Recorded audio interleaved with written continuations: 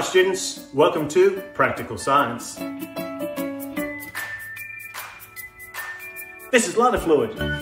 It's made of butane. What's one of the best things that happens with butane? It burns. And it burns in a combustion reaction. On today's episode of Practical Science, we're going to look at a combustion reaction and we're going to see how accurately we can get the value of the energy produced from that combustion reaction and compare it to our theoretical value. So let's go.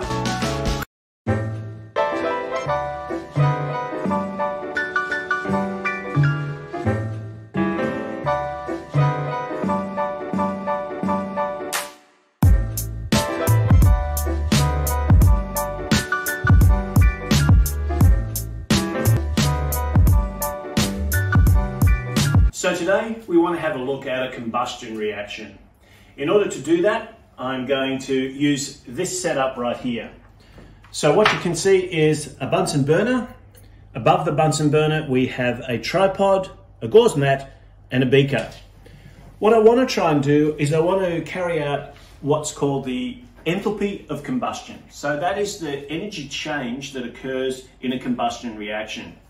Now I don't want to, there's a couple of things that I need to, to make sure that I do in order to get some accurate results here. And one of those always is to repeat the experiment. But I'm going to walk you through the, the just one example of this today, and we're going to get some values that we can play with.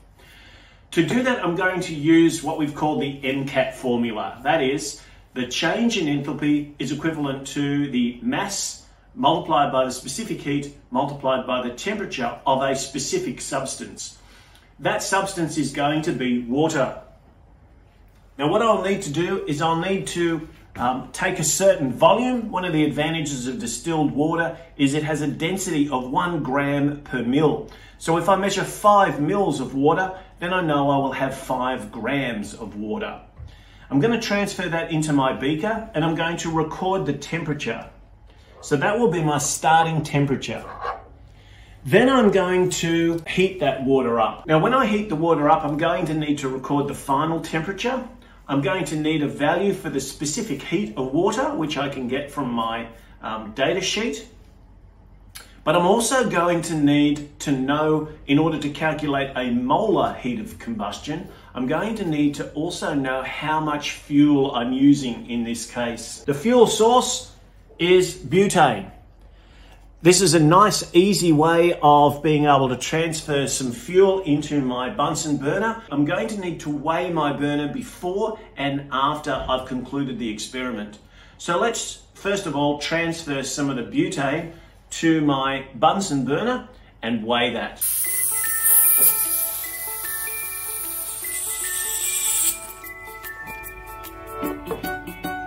Okay, so let's weigh it.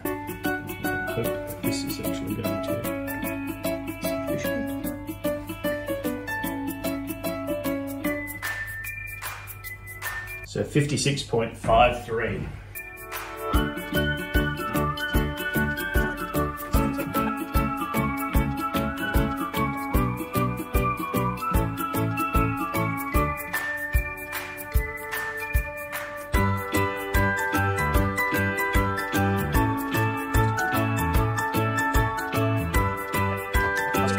Now we're going to pop the beaker up onto the tripod. I'm going to pop the thermometer in. Take it recording. There we go.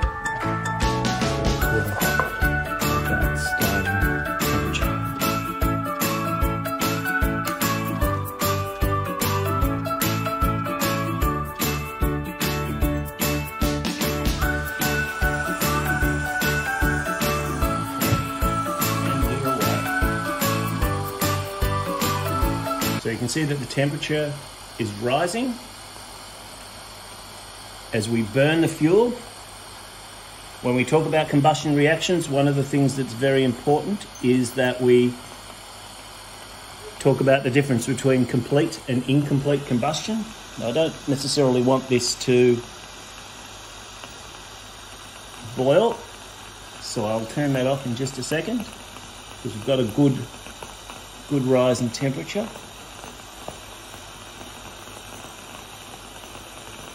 Going up really nicely.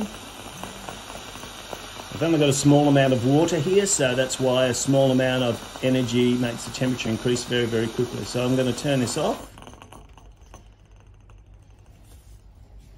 But I'm going to leave my thermometer in there because I want to try and pick the highest temperature I can get. One of the things that's very important when we're doing our heat of combustion reactions is that we make sure that we're measuring the temperature of the water, not the temperature of the glass. But we also know that there's some residual energy, and I want to make sure that I get all of that. So I stop it at whatever is the highest value I can get.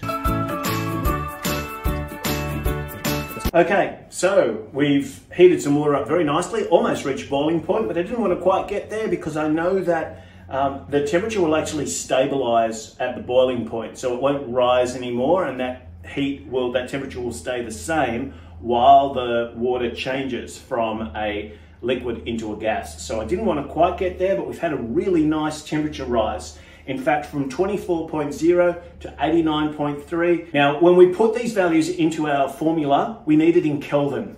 Now, I could add 273 to both my starting and my final temperatures, but when I subtracted them, I would get the same value. So you can use the change in temperature, not the absolute temperatures, but the change in temperatures to do a direct conversion between Celsius to Kelvin. So what I now am going to do is very carefully remove my very hot beaker and some of my other equipment. And what I want to do is to reweigh my Bunsen burner. I've had to try and make sure gas is off because I don't want to be losing mass of gas. So let's reweigh this.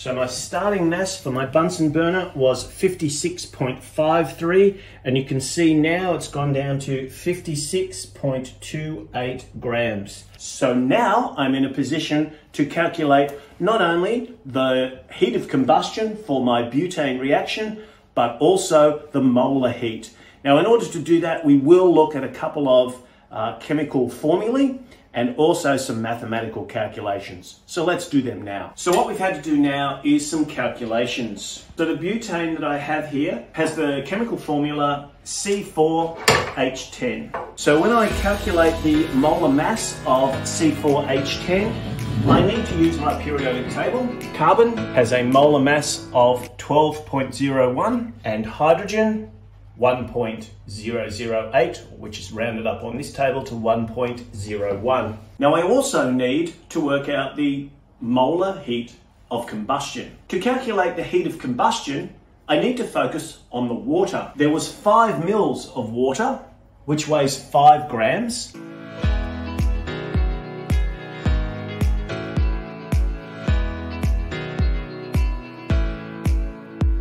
From my experiment, I started with 56.53 grams and I ended up with 56.28 grams, which means that I used 0.25 grams of butane in this experiment.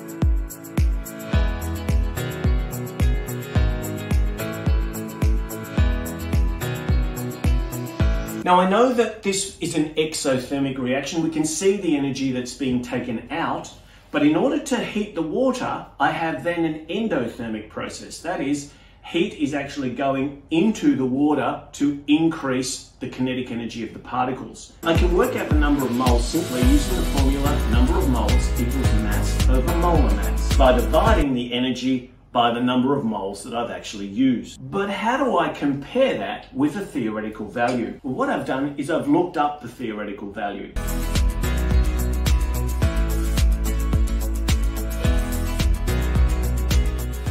What's happened to all of that energy? Well, potentially there's a couple of things. The first thing is I have to make sure that there's no gas that's actually leaking out of my Bunsen burner.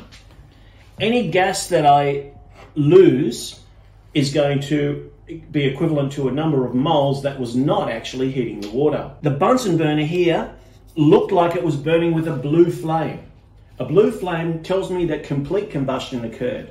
But if there's any incomplete combustion in this reaction, that is, If you see an orange flame with, say, some black soot, which is indicative of carbon, or perhaps even if the incomplete combustion produces carbon monoxide rather than carbon dioxide, then we're going to reduce the number of moles, and that's actually going to reduce our uh, experimental value as well. So you can see the black markings on the bottom of the beaker. That's soot, that's carbon, and that tells me that there was some incomplete combustion in this reaction, and that's been another one of the sources of our error because when our fuels burn incompletely, they do not produce the same amount of energy. So there's another one of our little sources of error. And if I work out the uh, theoretical heat of combustion for incomplete combustion, that value would be lower than the one for complete combustion. Thirdly, you could see that there was a small gap between my Bunsen burner and um, my gauze mat. Now, this has been my biggest source of error. The reason that we use a gauze mat is to spread the heat out. So not all of the heat goes directly into heating the water in the, in the beaker. That means that to be accurate, what I should do is actually weigh my gauze mat, look at the value, assume that the temperature is the same, which is an assumption that's reasonable to make. It possibly might have gone a little bit higher, but I could make that assumption. So that may be a correction step that we could add as well. Then you'll see that we have a gauze mat which has a mass of 2.32 grams. So one of the sources of error for this experiment is the fact that I used a gauze mat in order to um, try and spread the heat out a little bit so I didn't have the heat going directly on my glassware. That could have cracked my beaker. But in the process, some of the heat that's been released from this combustion reaction has actually gone into heating up my gauze mat. Now, I don't think there would have been a huge amount, and in fact, we've weighed the gauze mat. It weighs 2.32 grams. The specific heat capacity is around about 490 joules per kilogram uh, per degree C. So that only gives me an energy value of about 85.6 joules. So that's not nothing, but in comparison, it's not going to change the value a lot. So where might the error have come from?